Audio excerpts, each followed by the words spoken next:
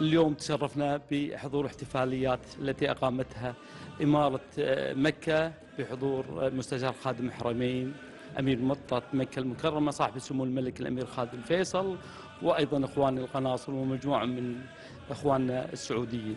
كل عام وأنتم بخير واسمحوا لي بهذه المناسبة أن أرفع أسمى آيات التهاني والتبريكات لمقام خاد- خادم الحرمين الشريفين الملك سلمان بن عبد العزيز وإلى سمو ولي عهده الأمين صاحب السمو الملك أمير محمد بن سلمان حفظهم الله وإلى الشعب السعودي. وكل عام وأنتم بخير وأمن وأمان وازدهار بإذن الله تعالى. كل عام والجميع بخير. كل عام والمملكة وقيادتها بخير وعز وأمن وأمان.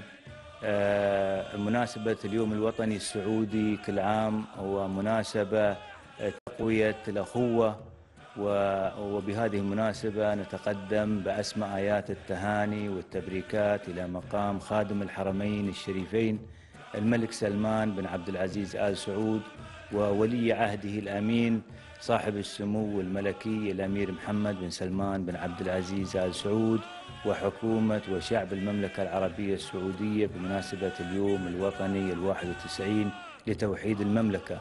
ونتمنى للمملكة وشعبها الشقيق دوام التقدم والازدهار في ظل القيادة الرشيدة لخادم الحرمين الشريفين وولي عهده الأمين وكل عام والجميع بخير. آه، يشرفني ويسعدني بهذه المناسبة العزيزة علينا أن نرفع إلى مقام آه، خادم الحرمين الشريفين الملك آه، سلمان.